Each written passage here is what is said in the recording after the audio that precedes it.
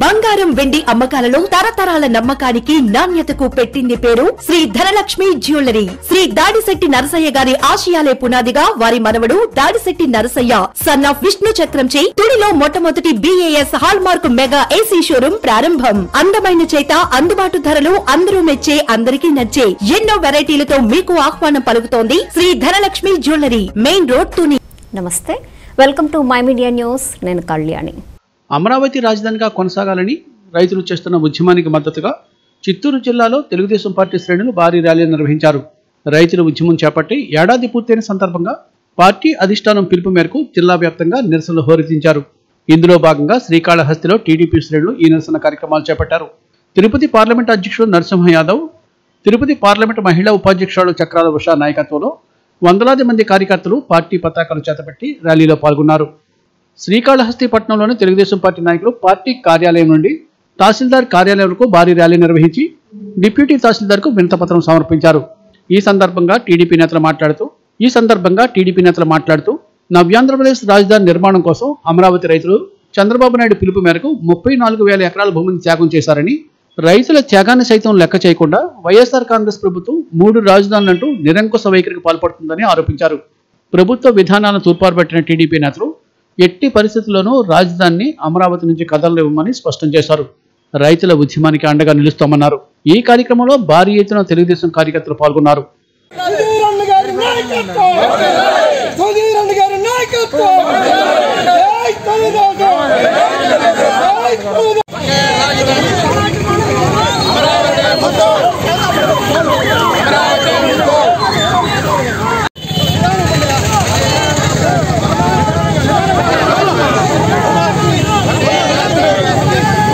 రోజులుగా రైతులు అదేవిధంగా మహిళలు కూడా ఒక సంవత్సరం పాటు రోడ్ల మీద వాళ్ళ నిరసనలు తెలియజేస్తున్నప్పటికీ కూడా ఇప్పటి వరకు కూడా ప్రభుత్వం స్పందించకపోవడం బాధాకరం.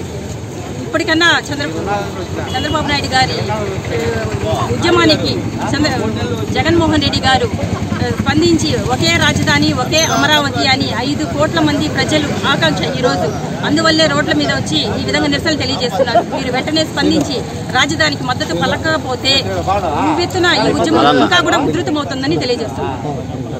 అమరావతి రైతులు రాష్ట్ర రాజధాని కోసం చంద్రబాబు నాయుడు గారి పిలుపు మేరకు ముప్పై నాలుగు ఎకరా ముప్పై నాలుగు వేల ఎకరాలు భూముల్ని మూడు పంటలు పండే భూముల్ని కూడా ఈ రాష్ట్రానికి త్యాగం చేస్తే ఈ రాష్ట్ర ముఖ్యమంత్రి ఈరోజు ఆ రోజు అసెంబ్లీ సాక్షిగా ఒప్పుకొని ఈరోజు ముఖ్యమంత్రి అయిన తర్వాత అడ్డదొడ్డంగా ఈరోజు అసెంబ్లీ సాక్షిగా మూడు రాజధానులనే ప్రకటన చేయడం వాళ్ళందరూ కూడా వాళ్ళ మంత్రులు కానీ ఎవరైతే ఎన్నికల ముందు వాళ్ళ పార్టీ నాయకులందరూ కూడా ఏ విధంగా అమరావతి రాజధాని కొనసాగుతుంది మా మా యొక్క జగన్మోహన్ రెడ్డి ఇక్కడనే ఇల్లు కట్టుకున్నాడు గృహప్రవేశం చేస్తూ ఉన్నాడు.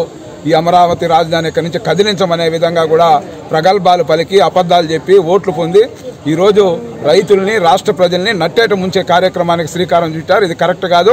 వెంటనే ఏ మాట అయితే మీరు చెప్పారో దానికి కట్టుబడి అమరావతి కొనసాగుతుంది అనే విధంగా ప్రకటన వచ్చే వరకు కూడా రాష్ట్ర ప్రజలు ఎవరు కూడా విశ్రమించరు. రైతుల పోరాటానికి అందరూ కూడా రాష్ట్ర వ్యాప్తంగా అన్ని వర్గాల ప్రజలు కూడా సంఘీభావాన్ని తెలియజేస్తూ సంవత్సరమైన కాలంలో మరింత రెట్టింపు ఉత్సాహంతో అమరావతి ప్రకటన వచ్చే వరకు కూడా ఈ ఉద్యమానికి సంపూర్ణ మద్దతు ఇస్తామని సందర్భంగా తెలియజేస్తాం.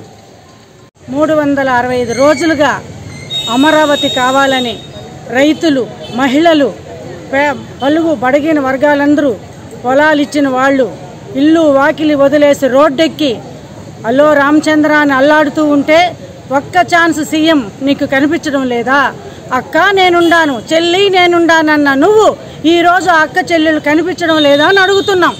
నువ్వు ఒక రాజధానికే లేదని మూడు రాజధానులు కడుతున్నానని చెప్తున్నావే. ఇది ఎంతవరకు సమంజసం?